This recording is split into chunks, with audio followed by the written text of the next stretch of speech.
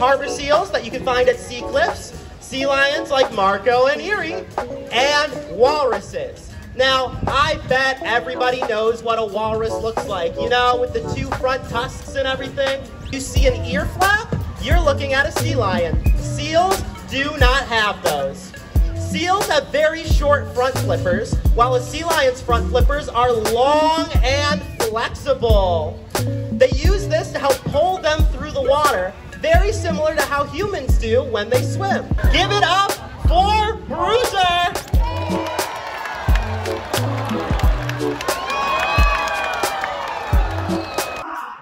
Can you sound like a donkey? Uh, maybe.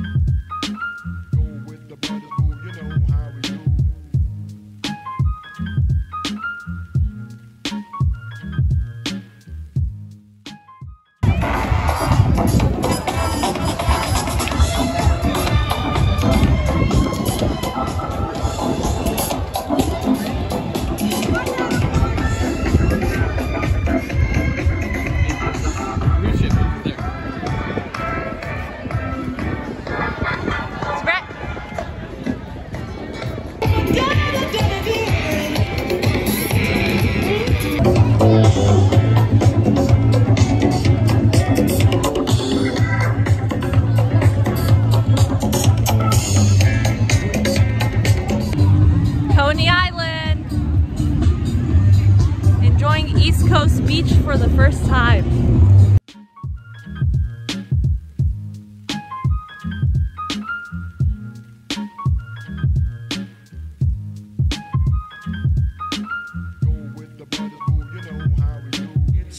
For me to say you